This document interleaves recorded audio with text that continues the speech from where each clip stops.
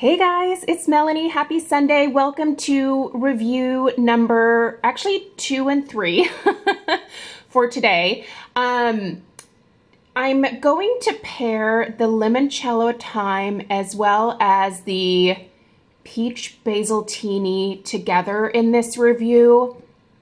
Um, they, they don't come as a set. I just want to clarify that right away. If you are going to order either of these candles, you are going to get a set of two limoncello thymes or a set of two peach basiltinis. You do not get one of each. So let me just clarify that. I am pairing them together only because they are kind of in the same quote unquote collection, I guess, in that they are like cocktaily drink type concoctions in terms of the fragrance. So, um, and this allows me to wipe out two reviews in one video. So that's how we're doing this one today. And um, I'm excited to share this review with you guys because these just released this past week. And um, I've been burning them this week because I was anticipating the release. So hopefully these reviews are helpful. Um, both of them are currently retailing um, for $45.50 plus $5.50 shipping on QVC. I will put links for both in the description box down below. So That'll just take you right over to QVC where you can purchase these if you're interested. And um, they are uh, 18 ounces and they are in that kind of classic Homeworx um, hobnail style container. Um, we were all very familiar with this. Harry has used it for a couple of years now. Um, I really like the design of this particular container. This year he did something different in that he, um, and I'm just going to try to take this one off with one hand here. He actually paired them with wood lids, which are the same type of lids he has on the Ulta exclusive candles, the three wicks over at Ulta. So I really actually like the wood lids with the hobnail. I think it's an interesting like textural combination together. And um, I really, I kind of like the wood lids. I think they're neat. Um, but uh, yeah, so um, same type of glass jar as before, just with a different lid. And um, yeah, so uh, before I get into the reviews, really quickly, so many of you were asking about a tutorial on how I customize my Homeworx candle pedestals. Guess what? I did that. It's already up on my channel. Woohoo! I uploaded that earlier this past week, so I will link that in the description box down below, and I will try to reference it in every video going forward for the next like few videos at least, because I know a lot of you were wanting an actual tutorial on how I do this. So the video shows you exactly how I do it in my backyard. Um, I will link it in the description box down below. It is super easy. So don't be intimidated about customizing your Homeworx candle pedestals. There's really no need to be intimidated. It's super easy. Okay, Let's start with limoncello thyme, which is the candle that's burning. Um, with both of these, I am at the halfway point, so I feel like I have a pretty good sense of the fragrance itself. I know how it performs in my house, which is a it's a rather large house. It's open concept, so um, it does take a pretty substantial candle to fill my space in certain areas of this house. But I also have one particular area that I call my fragrance vortex where literally um, any fragrance will just um, be thrown around kind of like in what seems like a vortex. And it just like it, I can smell the candle upstairs. I can smell it all throughout the downstairs. And that area is actually our entryway right over here. Um, I do think airflow is very important when um, when burning candles. If you have a room that doesn't have good airflow, sometimes it can be hard for even the strongest candle to to escape that. So um, kind of keep that in mind. I'm sorry that the light is coming in and out. It's a re it's really rainy again. I'm a fan, but the sunny days are done for right now. So it it's it might get even a little bit darker than this, but we'll just call it ambiance. Okay, limoncello thyme. So I have to say, now that I'm at the halfway point with this, I actually have a slightly different um, opinion of it because what I'm smelling is actually changing the longer that I'm burning this candle.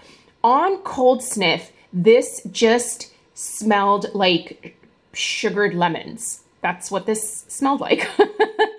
when I got it out of the box, um, I immediately thought, oh, this is like just a sweet, sugared lemon scent. It's nice. Um, I like it. But I thought, you know what? Um, it might be kind of interesting to actually be able to smell the thyme. So maybe that'll come out when I'm burning it. Um, and it didn't, not at first.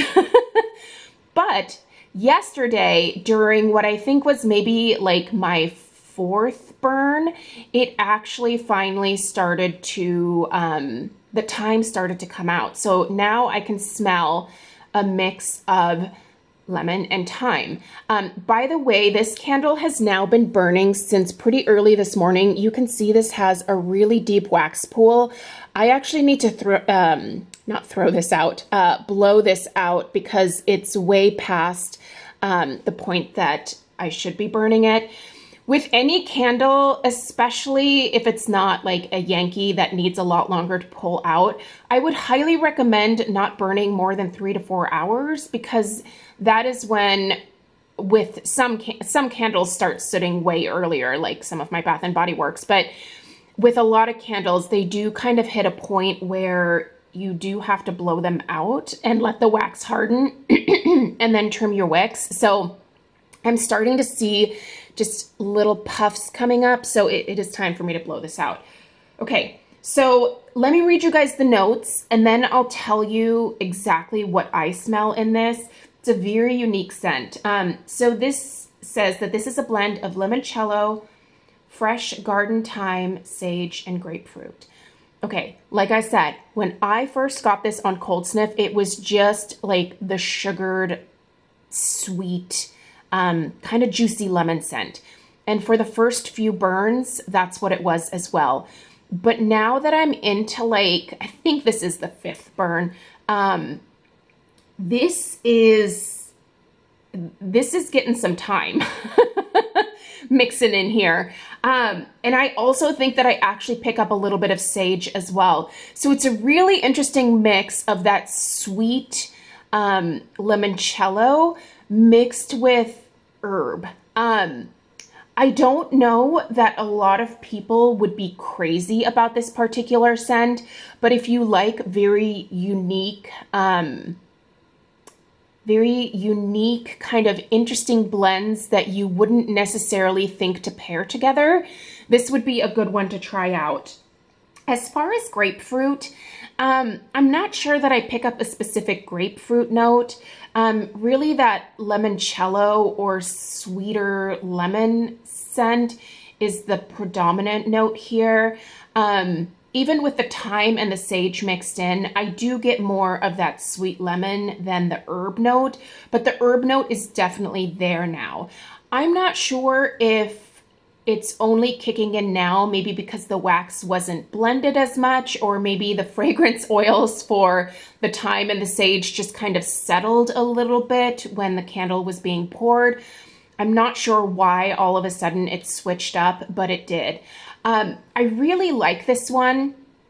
And by the way, this particular one was sent to me from, from Homeworx as PR. I just received one. I didn't receive a set or two of two or anything. But after burning this, this isn't one that I would choose to actually repurchase myself. And I think the reason is that um, I don't know that I love the thyme and the sage. If this just continued to be sugared lemon, I think I actually would have purchased another one because I'm really getting into lemon scents. I used to never ever like them, but now I really have come to enjoy them. However, the thyme and the sage for me is kind of throwing it off a little bit, so I don't love it as much as I did on Cold Sniff. The strength and the throw, I would put both at about a six. Not the strongest Homeworx candle that I've ever had, but also not terrible either. It definitely does better in the entryway, but I can put it in my kitchen and it certainly fills the kitchen and kind of starts to travel into this hallway area here and into the family room. But it's not crazy strong. So if you are looking for a super strong Homeworx, I'm not sure that this one is gonna be it, but it's a very unique scent. And if you wanna try something totally different, I would totally suggest checking this one out. But if you know you're not gonna like those herb notes, mm, I'm gonna say hold off. So we are now gonna go ahead and I'm actually gonna blow this out because um, I don't, its time is done. It's, it's been more than four hours. So um, there we go. I just kind of um, blew that off in the background here. But let's talk peach basiltinis. So this one is also at the halfway point. You can see there. So peach basiltini. Um, let's read the notes off the bottom of this one. So we've got uh, fresh peach, green basil, squeezed lemon juice, and iced vodka. First off, if you're worried about this having a boozy note, it doesn't. Um, I was just kind of sniffing it on cold sniff again just to make sure that it's not there on cold sniff either. It's not, it's not. There is no vodka in this.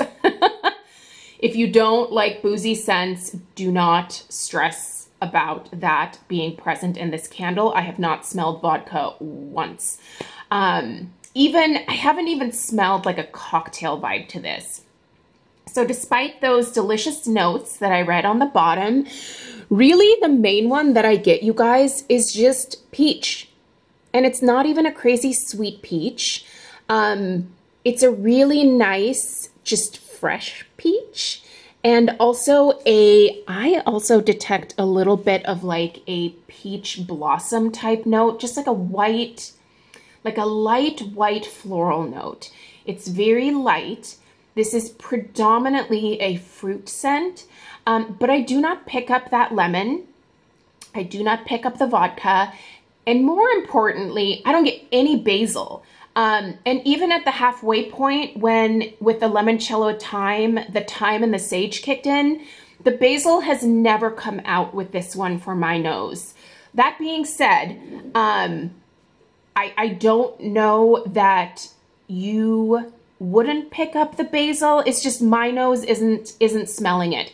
I do actually have another candle that I just recently got from the brand Sundaray and it's a mango basil scent and that is 50-50 mango um 50% mango 50% basil like it's a very distinct note that basil um and I just don't get it here at all so if you're worried about the basil part and you're looking for just a peach candle I, I would go for this. I actually really like this one.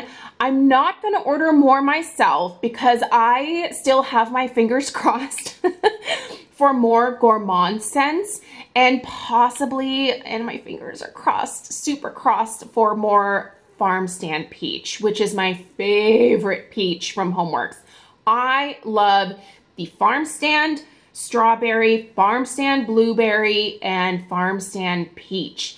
I think Harry's take on those sweeter fruit scents are just much more in line with my personal fragrance tastes than this one is. With that slight floral note in here, it just, it makes it really nice for spring, I think.